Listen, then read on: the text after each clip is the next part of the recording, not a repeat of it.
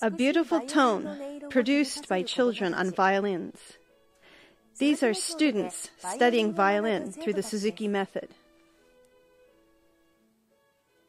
The founder of the Suzuki method, Dr. Shinichi Suzuki, used to say over and over again that every child grows. It depends on how he is raised. Dr. Suzuki's ideas spread throughout the world, and now there are 400,000 students who study using the Suzuki method. And in March of this year, students from around the world will be coming to Matsumoto, the birthplace of the Suzuki method. In this program, we will talk with the president of the Talent Education Research Institute, Mineo Nakajima, and the artistic director, Koji Toyoda, to explore the appeal of the Suzuki method.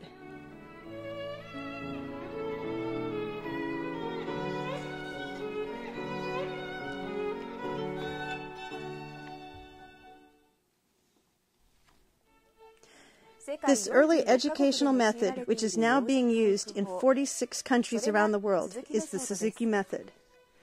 The founder of this method, Dr. Shinichi Suzuki, observed how children learn to speak their mother tongue, Japanese, so easily and discovered the high capacity of a child's potential. Based on this, Dr. Suzuki gave birth to an early educational system through music, the Suzuki method. In 1946, in the city of Matsumoto, located in Nagano Prefecture, the Matsumoto Music School was created by Dr. Suzuki and other men of culture at that time. This was the start of the Suzuki method.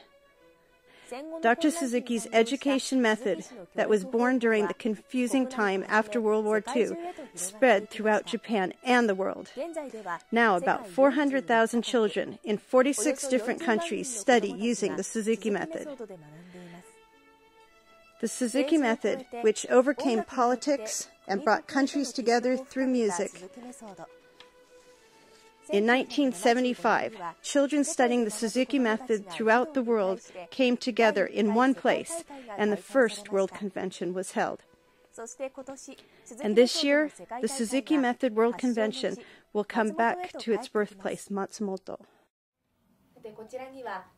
Today, I will be talking with the president of the Talent Education Research Institute, Mineo Nakajima, and the artistic director, Koji Toyoda. Congratulations on having the World Convention here in Matsumoto in March. So it will be 15 years since the last conference was held here in Matsumoto, the birthplace of the Suzuki method. Mr. Nakajima, serving as head of this conference, can you tell us your feelings about the conference?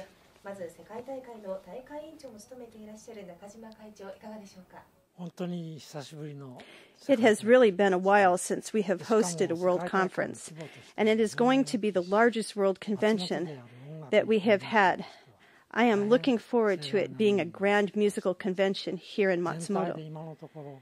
We are looking at about 6,000 participants, and due to the complications with finding enough space to accommodate this large number of people, we are now having to turn down many who would like to attend. We already have over 5,000 people coming from around Japan, and we have well over 1,000 applicants from various countries overseas. Taking this into respect, I think it will be a very lively world convention. And we also have one of Dr. Suzuki's prized pupils, an artistic director, Mr. Koji Toyoda, here today. The World Convention will be returning to Matsumoto after 14 years. What are your feelings? I am truly excited. As you know, the Suzuki method has become widely accepted throughout the world and is being researched by many.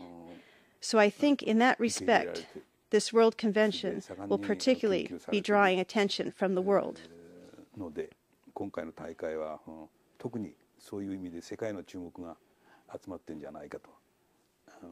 思います。I see. It is going to be very exciting to have Suzuki sounds from around the world come together in Matsumoto.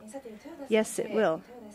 So, Mr. Toyoda, you started the violin when you were three, under the tutelage of Dr. Suzuki. And after Dr. Suzuki passed away, you succeeded him as president of the Suzuki Method. So, could you please tell us about the key points of the Suzuki Method? Well, this is a rather difficult point. But Dr. Suzuki found it shocking that Japanese people could speak the Japanese language, meaning that he was shocked by his realization of this. What I mean to say is, as you are well aware, the Japanese language is very complex. It is divided into so many different levels of hierarchy, and it is a compilation of many different cultures. So, seeing how children could use this language freely as they wished, Dr. Suzuki was shocked to find that children had such talent. Then he found that if you keep researching down this path, any human can do anything. Every child can, were the words that he was led to. So there is incredible weight placed on the philosophy that every child can. This is not about things to do with society. Like everyone can become the prime minister or the president. It is about each child being a respectable and cultural human being. This is the strong belief that Dr. Suzuki came to embrace. And since he was a musician himself, he tried to improve his theory by using music. And that is how we have come to where we are today. And Mr. Nakajima, who succeeded Mr. Toyoda as president and supports the current Suzuki method, what are your thoughts on the teachings of the Suzuki method? The Suzuki method does not start with going through sheet music. You absorb the music through your ears, memorize it, and repeat it over and over again. And that is where we get the word method. Method means way of doing, which is memorization and repetition. I believe this is what is special about the Suzuki method. Today, the areas that are lacking most in Japan's education system are the cultivation of aesthetic sentiments and sensitivity, especially while a child is young. This would also be fine in elementary or junior or even senior high school. But music is something like arts and crafts that does not have to do with the entrance examinations for schools. So schools, children, and their parents tend to neglect it. Yet, aesthetic education, which nurtures artistic creativity, is most important in child's education. And I believe it, it is extremely important going into this era of globalism. With the decreasing birth rate, Japan is having a hard time right now. But the Suzuki method is really taking off throughout the world. There are about 400,000 people who are studying through the Suzuki method. I just recently got to play the violin in Carnegie Hall along with Suzuki Children of the United States. And in Sydney, the Suzuki Children fill the famous opera house. Europe and Asia as well have great integrity. And the fact that it was born in Matsumoto, I think, has great meaning.